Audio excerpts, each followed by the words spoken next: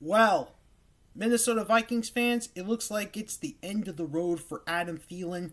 Well, his time with the Minnesota Vikings, that is, because Minnesota Vikings, whoo, that's right, are releasing Pro Bowl wide receiver Adam Thielen. Yeah, looks like Adam Thielen's time with the Minnesota Vikings is up, folks.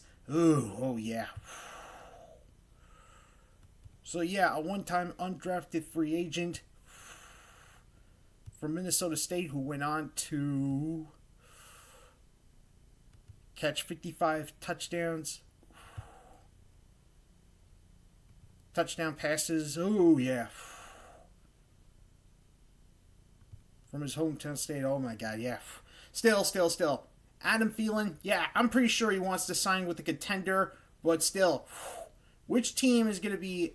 Which team is going to be crazy enough to take Adam Thielen in? Woo, probably probably someone who's in need of a wide receiver, but I but how am I supposed to trust a contender with Adam Thielen? I mean seriously. Ooh, oh my god. Still. Anyways, Adam Thielen, good luck with the good luck wherever you wind up, and I'll see you all when I bring you more breaking news.